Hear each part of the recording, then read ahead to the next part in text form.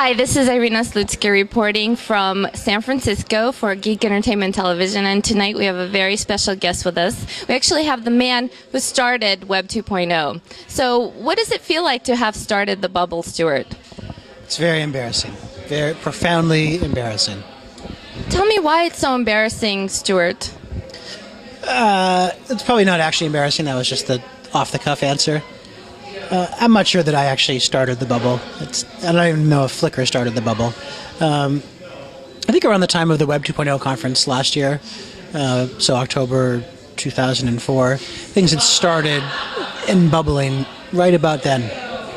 Uh, Six Apart got 10 million in financing, which is pretty significant.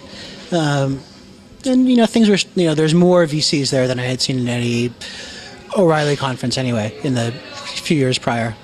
So, so you're speaking as if the bubble is a real thing and as if it exists.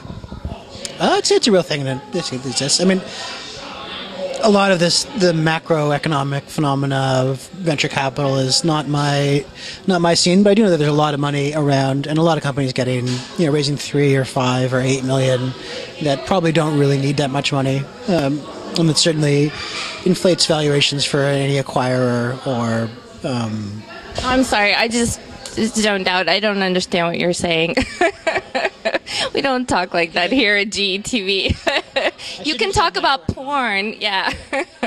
or um, let's see, what is it? I mean, how did you manage to start such a Web 2.0 company inside a Web 1.0 world? That's a ridiculous question, Irina. um, I think the you know, to the extent the company ended up Web 2.0 is because of the people I had around me. Um, a lot of crack developers and a lot of people who had been on the web for it sounds kind of odd to say that, but on the web for personal reasons since well before there was the first dot com rush.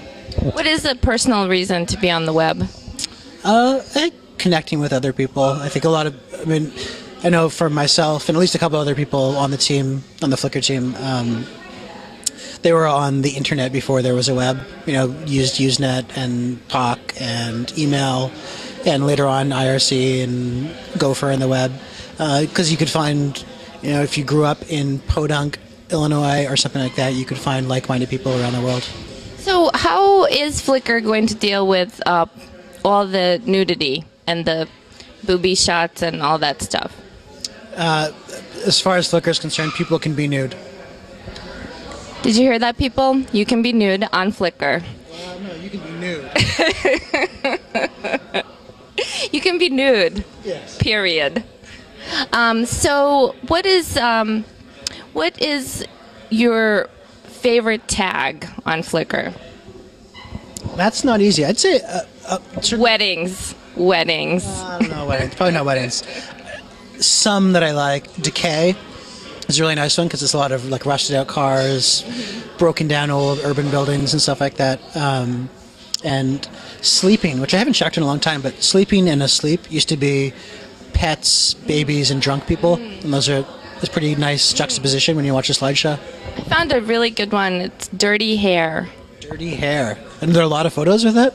Not a lot, but they're surprisingly good looking.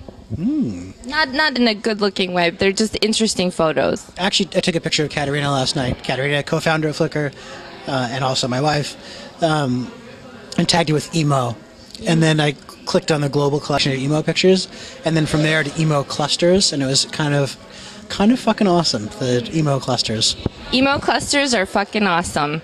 Now, what is this fashion statement you have here? We are doing a fashion geek report, so you know that pretty much uh, after this, everyone on Flickr is going to be wearing beads. Yeah, no, that was the idea. Is I don't actually like beads. I just wanted to see how many people. No, these are Caterina's beads, um, purchased in Rome on a recent vacation.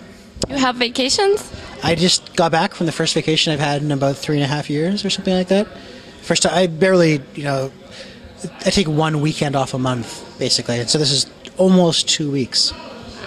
And I did have my Treo with me, so I was receiving and sending email in the Pantheon in Rome. So, so tonight when uh, I get home, I'm definitely going to look up beads on Flickr. And bead clusters. Bead clusters. are probably awesome. What's your last word for the future of the internet? That the future of the internet has no last word. And uh, good night, and we'll see you on the internet. This is Irina Slutsky reporting for Geek Entertainment Television.